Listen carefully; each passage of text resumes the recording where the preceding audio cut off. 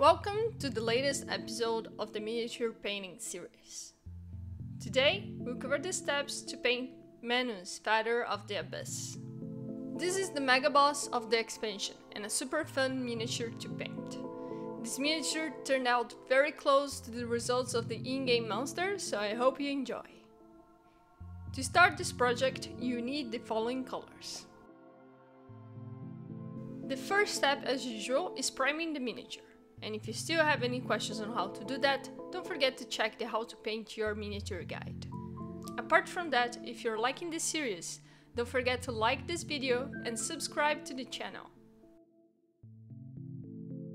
The second step to paint this miniature is painting the fur base, and for that we will mix Macragge Blue with a little bit of Abaddon Black to darken the tone, and Thousand Sons Blue to increase the saturation of the color. Once it's done, we will dry brush it on different parts of the model. The big hand, the tail of the model, both thighs, and a little patch of fur on the right shoulder. For the next step, we are going to use Longbeard Grey to paint the top parts of the horn. We will dry brush it all the way. When dry brushing, don't forget to clean well your brush before starting to avoid staining your model. On this step, you will need a lot of patience because it's a long process, but the results are pretty cool. When dry brushing, leave the black parts of the model visible to have a mix of black and white colors that constitutes the nice texture of the horns. We'll do the same for the face and rib cage, but in a lighter tone, just by dry brushing less times on these areas.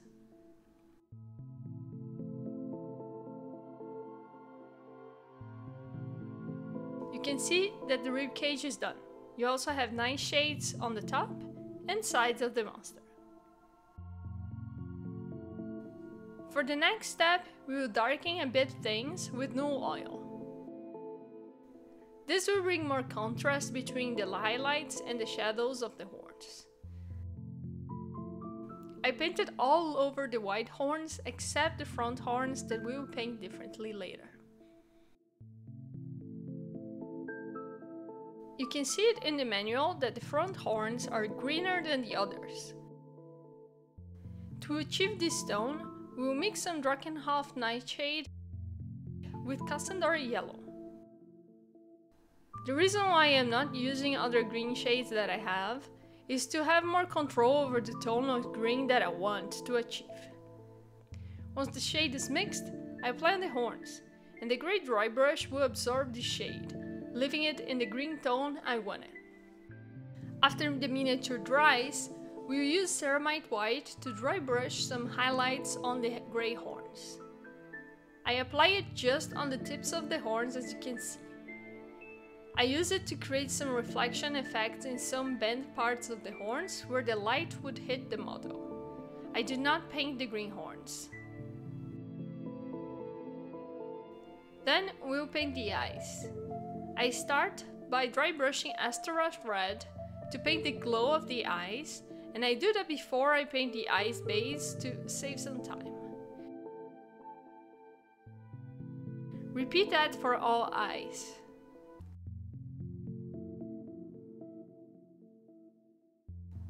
Once it's done, we're going to paint the base of the eyes with Mephiston Red.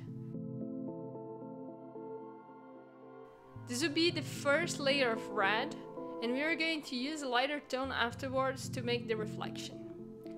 Quite simple layer, just use your brush and try not to hit the model that is already painted. The next step will be done with Wild Rider Red. We will use it to paint just a little circle inside of the eyes to create the difference in reflection.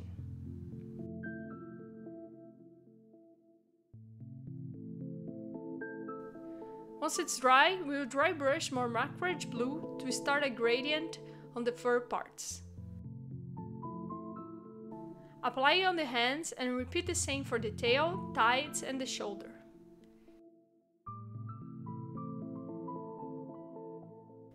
We're going to paint now the hands and legs with Longbeard Grey.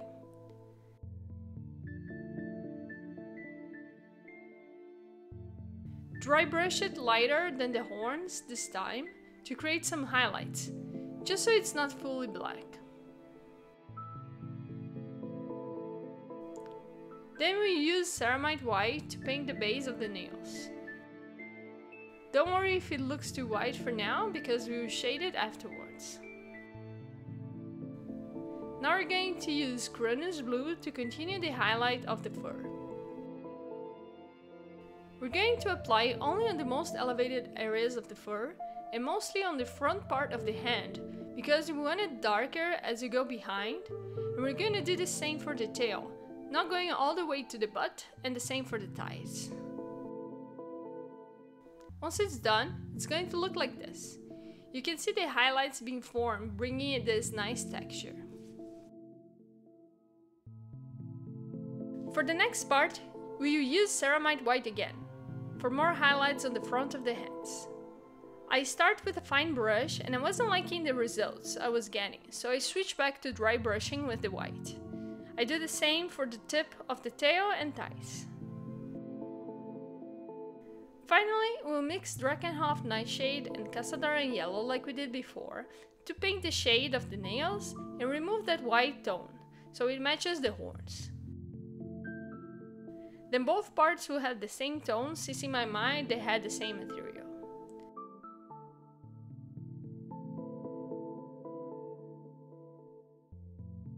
For the hand itself, we will dark everything with Drakenhof Nightshade to bring the nice dark and almost alive blue tone that is Manus fur. We're going to apply this on the hands and the remaining parts of the fur, including the tails and thighs.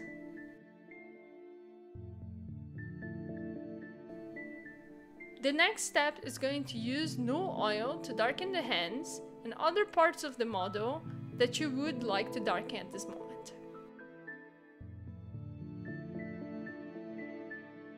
Then we will move on to the weapon. The base of the weapon is done with Rhinox hide and I dry brush over the primer to keep the dark tone of the brown.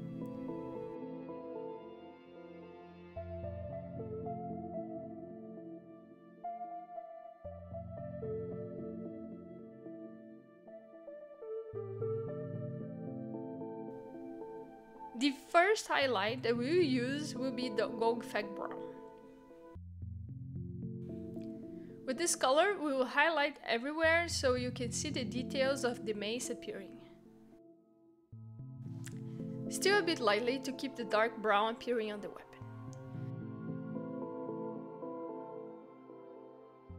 Then we use Zandri Dust to add some depth to these highlights to keep it different from the other wood textures that I normally do. And finally, the last highlight of the weapon is done with Elder Flesh. I use this one in only a few specific parts to be like the light reflection of the weapon. The last part is cleaning the base with Abaddon Black, but that's basic, so let's skip to the final results. I hope you enjoyed this tutorial and if you have any constructive feedback, questions or suggestions, don't hesitate to drop in the comment section below.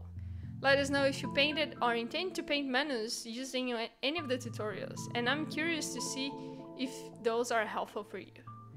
Also hit the bell button to get a notification when the next episode is up. See you next time!